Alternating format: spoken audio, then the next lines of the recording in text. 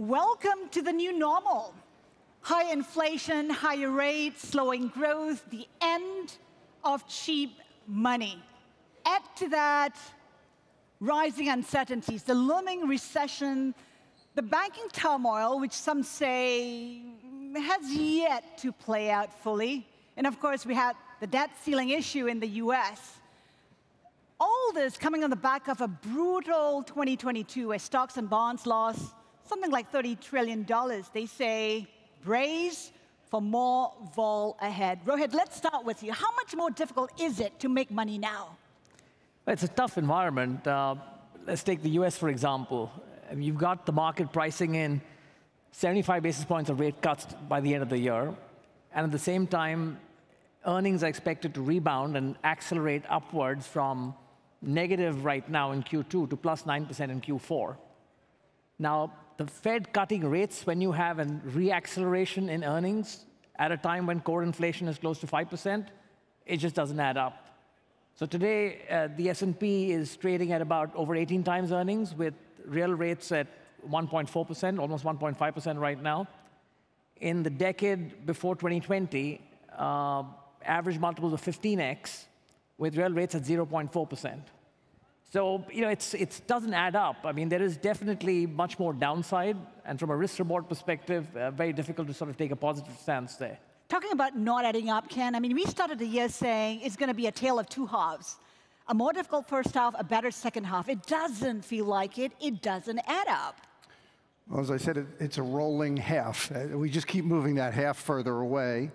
And I do think the banking crisis uh, somewhat got in the way of what felt like a bit of a recovery in the first quarter. Um, and to Rohit's point, the markets, you know, I think there's a big difference between the economy and the markets. The economy, I think, still has a rough time ahead of it. But it's the job of the markets to look ahead. And, you know, the, the markets have sort of been in a, in a funk for 15 or 16 months already. And I, and I think they're, they're itching to look beyond the, the 9 to 12 months that we might have a bad economy, but the markets are going to try to anticipate that and get ahead of it. The banking crisis, some say it will take years to fully play out. Do you agree? Yes, because I, I, this will result in tremendous new legislation and regulation. You know, the banking crisis was almost, it, look, it happens every 10 or 15 years, it just happens differently. But the, the banks are under, you know, I, we have a strong system, but they still levered seven or eight to one. By definition, a bank is levered seven or eight to one. And um, these, these, the, the speed with which deposits can leave now is a real problem. So it was funny, in the last crisis, I told my kids, this was 2009, I said, look, if, if I get hit by a bus, just remember one thing in life never borrow short term to invest long term. I said, that's it. My 13 year old daughter would say, I don't know what that means. I said, you don't have to know it now, just remember that. And, and, and that's the heart of all these problems. You can't have deposits that can leave in a half hour and invest in assets that are of duration, and that's going to be a real problem. So, what are the implications for the US and the international banking system then?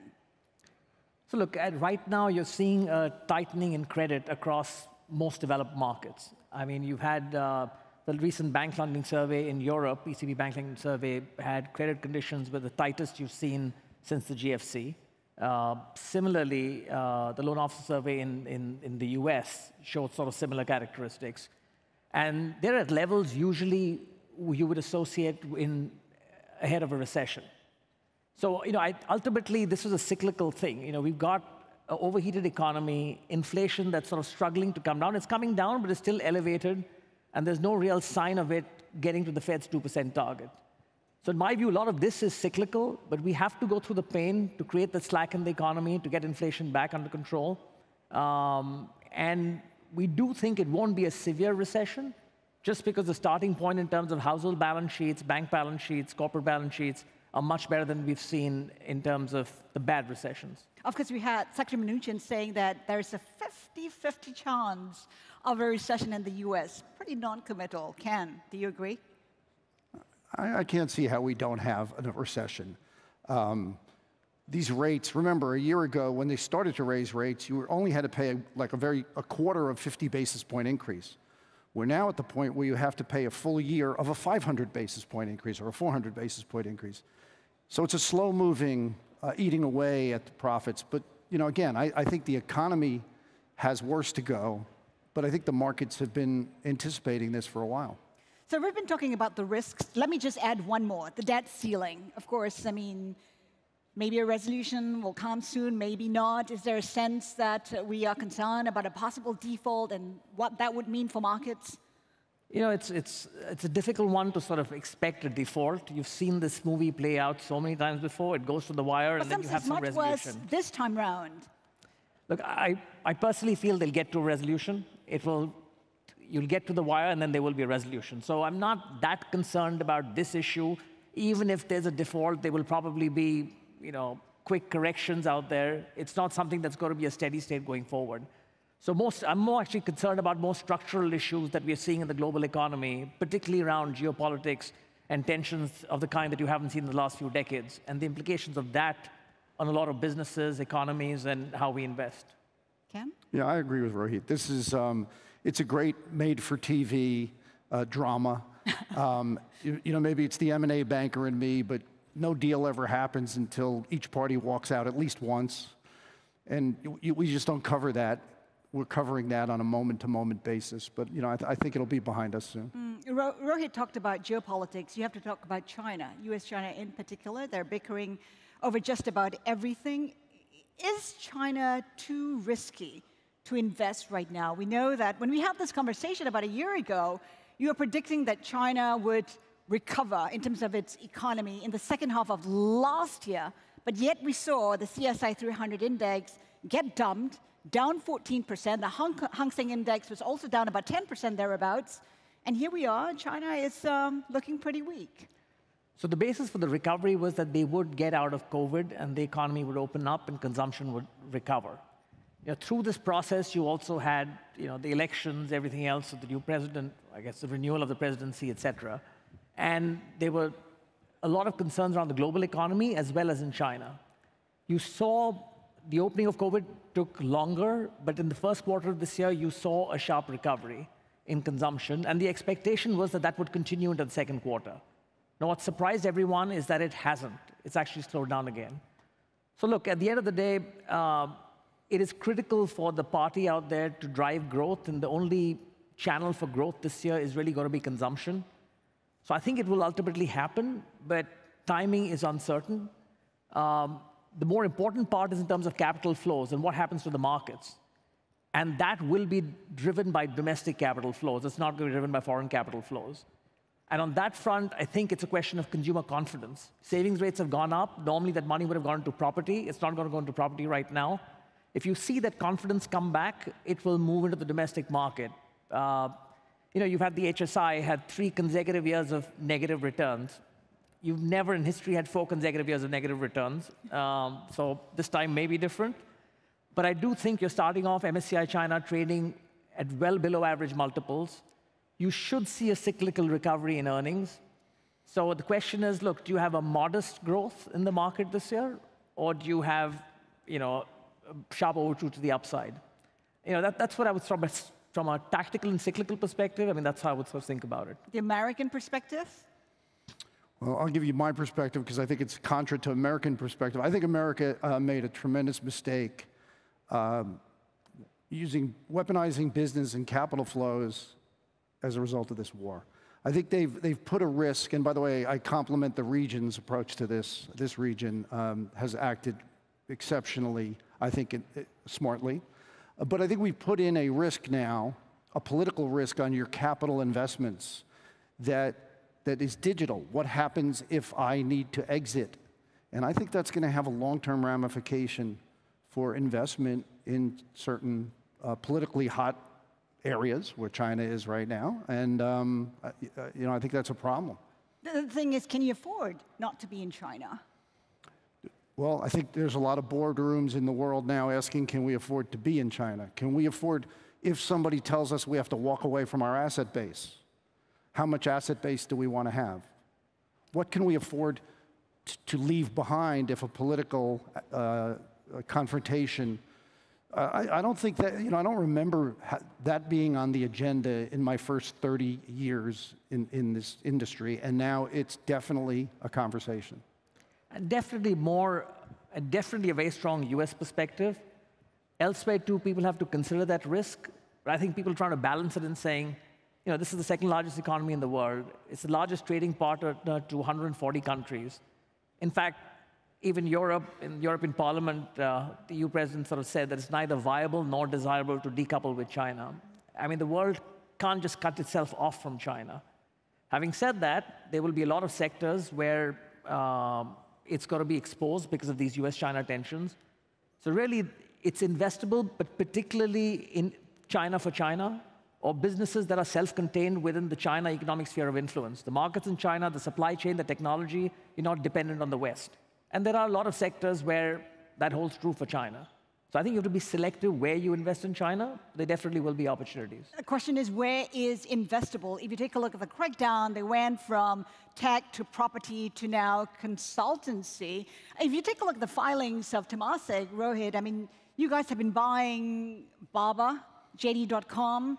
Is there a sense that they're buys now, or do you, like you said, have to be pretty specific in terms of what you buy in China?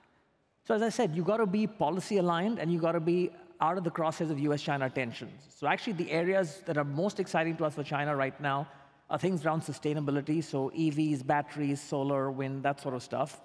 Uh, China is dominant and it's very policy aligned. Areas like biotech, which earlier we would have looked at the domestic opportunity, but also looked at the opportunity in other markets, in Western markets. Now you've got underwrite it based on the domestic market opportunity, which is also very big. And you got to just, that's the only shift you got to make. Or in general consumption, whether discretionary or staples, et cetera, which are policy neutral, and, uh, and China is a big market. So those are the areas which we are most focused on. Uh, because, um, and again, as I said, it's, from capital flow perspective, it's going to be domestic capital flows which are going to drive it. Uh, I don't think you can rely on US capital flows, for example, to uh, come in any significant way into China. What looks attractive? You take a 12, 24, 36 month perspective in China.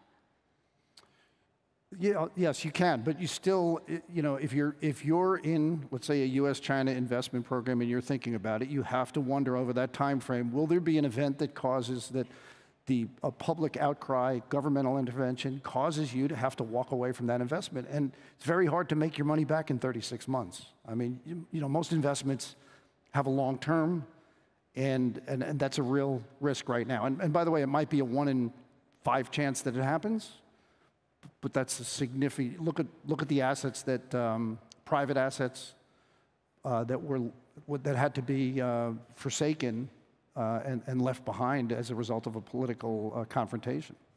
You know, the speakers before us keep talking about the opportunities in the Gulf area, in the Gulf states. They used to be the source of capital. Now they have become a very attractive investment destination themselves. What's your take on it? What's contributing to that? What's looking good? Almost everything. When I come here, it's so energized. And I know, I was going to say, the, the real asset of the Gulf is energy, and I don't mean energy in the ground, I mean the energy of the people. The, the, the, the region has thought long term. It has invested in talent, in infrastructure. Um, the decision making is crisp and it's clean. The, the, the, uh, the ability to uh, get workforce in here, the fact that there's, uh, you don't have to, as a business, you don't have to deal with the union uh, problems. Um, I think the region has so much going for it in terms of their ability to make decisions, operate quickly, cut through the red tape, and lastly, think long term.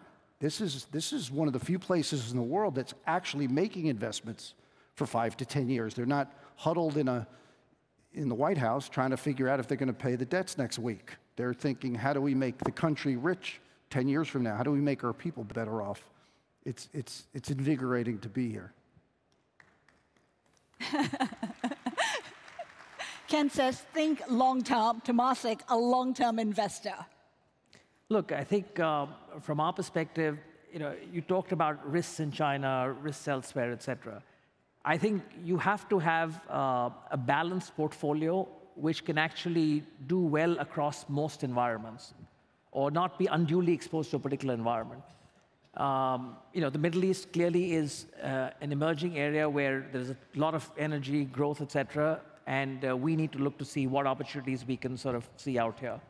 But it's, it has to be in the context of a global portfolio and the balance. So, you know, I just want to come back to this point you made about China and the risks there. I mean, clearly there are risks, but when we do the scenario planning, there is also upside scenarios for China. So you can't have a portfolio that just completely avoids China, just like you cannot have a portfolio that avoids the US or Europe, or in fact now increasingly, I would say the Middle East. So I think that's how we try and look at a portfolio which is more balanced, and I definitely agree with Ken that there's a lot of energy out here, and this is one of the fastest growing regions. Um, also, I would say regions that are relatively not in the, either the US or the China camp uh, will benefit in this geopolitical environment. So that's Southeast Asia, India, the Middle East are all, I think, going to be beneficiaries of that. Mm. I'm wondering and curious about India. People always talk about India being the alternative to China, but there are also questions about the scale compared to China. I mean, if you take a look at the private equity market, for instance, is it ready to absorb the capital that is being diverted, rotated out of China? I don't think it can be a substitute for China in the near term. I mean, China is five times the size of India in terms of size of the economy. Having said that, both from a structural and cyclical perspective, uh, India is looking very good right now. From a structural perspective, this China plus one strategy, India will form part of the alternative out there. There's been a lot of in investment in infrastructure and other areas in the last few years, which is positioning India for growth. On a cyclical perspective, PMIs are at the highest levels you've seen in the last decade. Credit growth is strong. So it is an attractive market, and we would want to sort of do more and increase our share in that market of our portfolio. But you've got to be calibrated to how much you can do. I mean, you've got to be realistic that it's not just going to be a substitute for China, but it'll be one of the areas where you'll see more money flow in. Ken, thoughts on India? Yeah, look, at India sh should be the greatest economy in the world. You know, they, they if they get out of their own way bureaucratically. You look at the United States now, I think, I don't have it exactly, but six or seven of the largest companies in America are run by Indian trained and Indian business people. The, the, the, difficulty with India is those people are in America. and and if, uh, if, they could get their, if they could get to decision making, get the bureaucracy out of the way, it should be exactly what you said. And they just have to solve that quickly running out of time, I just want to touch on crypto. Uh, it's gone from a crypto winter to the ice age, uh, has lost a lot of money there. What are the chances of a recovery? How are you looking at it? Is it a sideshow? Will it make a full recovery if we have regulation? How are you looking at it? Well, we, we actually started a blockchain crypto uh, group within our own firm because we think whatever happens, um, and, and, I don't know the answer to that, but I know there is a whole generation that's tremendously interested in making it work and is committed to making it work at a system. Um, and our job there will be to try to help them. We've been involved in almost all the restructurings. so, so far it's been a lot of cleanup around some of the uh, projects that haven't worked. But who knows? I, I never underestimate the, uh, the energy and the, and the creativity of, of this generation. So I, I think it's going to have cycles, and, and we'll see where it goes. Is there still appetite? I mean, I think, Temasek was badly hit. You know, to your point, uh, I think regulation is going to be key because in the absence of regulation, it's too volatile an asset to be a store of value. So I think we'll just have to see how regulations sort of come out and what that means for this asset class in the longer term. But some say it's not a good fit for institutional investors. I mean, right now, in the absence of regulation, given all the uncertainty, there's no fundamental value to these cryptocurrencies. Um, it, clearly, it's very difficult for uh, institutional investors to invest in the currencies as such. Around blockchain applications, which are much beyond just the currencies, I mean, yes, I think that could be an area for investment for institutional investors, you know, where you find the right uh, business opportunities. On that cautious note, we wrap up this discussion. Ken Rohit, thank you so much for your time. Thank you for having us. Thank you.